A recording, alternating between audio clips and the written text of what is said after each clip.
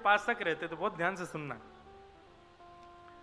तो भक्त काल की बातें जब भक्ति भक्त होते थे, वृंदावन में सब भक्त थे, मीराबाई आदि सब यहीं थे, तब एक गूढ़ भक्त था, उसका इतना प्रचार नहीं था। तो शाम को सारे भक्त लगभग कोई सेवा कुंज में, निधि वन में, जमुना तट पर सारे भक्त मिलते थे, और झुंड बनते थे, भक्तों के आपस में बैठ के संकीर्तन, सत्संग आदि सब चलता था। तो चार पाँच भक्तों की मंडली यमुना जी के तट पर बैठी थी। हर भक्त का एक नियम होता था, कल मेरे ठाकुर जी का उत्सव है, तुम सबन को अपने ठाकुर जी लेके मेरे यहाँ आनो है। तो वृंदावन में यही होता रहता था, आज उसके यहाँ उत्सव है, सबके ठाकुर जी जा रहे हैं महाराज, उसके घर उत्सव होगा, वहाँ पे ठाकुर जी आनंद करेंगे। फिर कल किसी और के यहाँ उत्सव तो सारे ठाकुर जी वहाँ जा रहे हैं, घर के ठाकुर जी, मंदिरों के नहीं। तो एक बार एक मंडली के भक्त सब आपस में कर रहे थे। बोले सबने कही, भाई, सबके घर एक एक बार सब कार्यक्रम है। या के घर कभी कोई कार्यक्रम ना भयो? हाँ भाई, तेरी कुटिया में कब उत्सव है? हम सब के, हम सबन के ठाकुर जी आमेंगे। तो बोलो, मेरी कुटिया में कोई उत्सव मत करो। बोले, क्यों? तेरे ठाकुर जी को उत्सव नहीं होगा? बोले, मैं अकेलो ही कर लूँगा उत्सव। बोले, अरे, ये तो गलत बात है। अकेले उत्सव ना हो भैया। उत्सव में समाज बुलाया हो जाए, वैष्णव बुलाए जाए। क्यों ना बुलावे तो सबन को? तो बोले कि कोई ने अगर मेरे ठाकुर जी को देख करके यो कह दे, ये कैसे ठाकुर जी? मेरे चित्त को बड़ी पीड़ा हो जाएगी। कोई कहीं मेरे ठाकुर जी को देख के यो नहीं कह दे, ये कैसे ठाकुर जी? अब तो जैसी उसने ये बात कही तो बाकियों के मन में आ गया, बोले, ऐसे कैसे ठाकुर जी?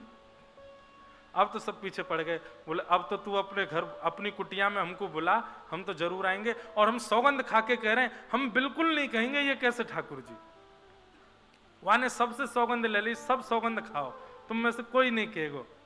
सबने सौगंध खा ली, बोले, हम में से कोई नहीं कहेगो, तू अपने यहाँ बुला। अगले दिन माने उत्सव रखो और उत्सव में माने सबरे बुलाए। जैसे ही सबने वाकी कुटिया में प्रवेश कियो चारों तरफ़ घूम करके बोले, भैया, सुगंधी तो आ रही है इत्र की, पर ठाकुर जी हैं कहाँ हैं? तो उसने दूर दिखाया तो एक चौकी के ऊपर एक मटका रखा था। मटके पर ही मोंगरा के पुष्प लगे थे। उसी में इत्र लगा था, उसी पर तिलक चंदन आदि रखा था, उसी पर वस्त्र पधराए हुए थे, उसी पे ही माला चंदन आदि सब था, उसी के सन्मुख बोले, ये रहे मेरे ठाकुर जी अब मटका देख करके ना चाहते हुए सब बोल गए, ये कैसे ठाकुर जी? बोले, मैंने मना करी, तुम लोग मत बोले तुम क्यों बोले? अरे भैया, क्षमा कर दे, सब पाम पकड़े। बोले, भैया, क्षमा कर दे, लेकिन सुन, बैठ, एक बार बता तो सही है, कैसे ठाकुर जी? ये मटका वाले ठाकुर जी कैसे भाई भाई? उसके नेत्र सजल हो गए। बोले, भैया हम इतने सौभाग्यशाली तो नहीं है कि हमको श्री राधा रमन लाल की प्रत्यक्ष रज मिल जाए। हम इतने सौभाग्यशाली तो नहीं है, साक्षात कुंवर कन्हई की ब्रजरज मिल जाए। या ब्रज में उनने विचरण कियो, लेकिन हज़ारों लाखों वर्ष पहले कियो। प्रत्यक्ष अभी की ताज़ा उनकी चरण चिन्ह की रज तो मिल ना सके। लेकिन मैंने सत्संग में सुनो है कि ठाकुर जी को भजवे वारे वैष्णव, उनकी चरण रज ठाकुर जी के चरण रज के समान है। तो मैं यही करूँ, पूरे वृंदावन में विचरण करूँ और जहाँ कहीं से भी वैष्णव निकल के जामे, उन सबन की चरण रज लेकर के आऊँ और या मटका में भर लूँ उन सबन की रजन को ही अपने श्यामा श्याम के रूप में मान करके या मटका की नित्य पूजा करूँ, नित्य सेवा अर्चना, वंदना करूँ। तब सब बोले, यही है ठाकुर जी, यही है असली ठाकुर जी। तो भैया भक्तन में मति, भक्तन में गति, भक्त चरण रज सदा लुभाने। तब जानो गिरधर अपनों करे जाने।